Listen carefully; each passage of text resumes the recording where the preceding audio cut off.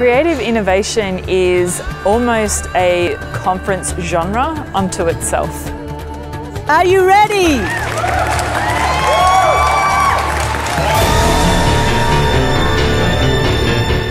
It's the most incredible, awesome event for innovation that I've been to.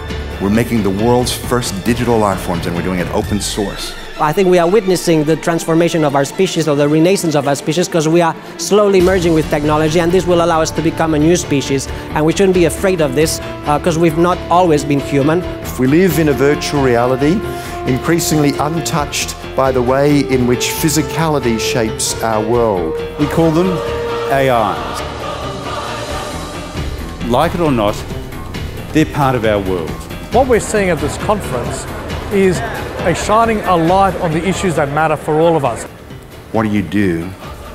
You've got access to potentially the most dangerous technology the human race has ever seen.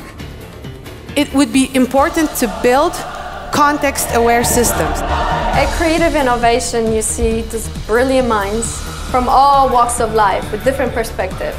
All of us as individuals have a stake in what is happening to us in our common society. But what is Bitcoin and blockchain? Why do people say that it's the second coming of the internet? 70% of written media, eh, you'll be horrified to know, is written by a machine.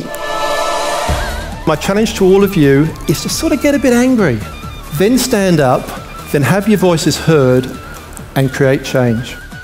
Never before have humans been at the precipice of so much change. What's profound about technology, however, is how it's amplified the potential of people. What do we think our economy will look like in 2035? What do we want it to look like? And what do we do as a nation to get there?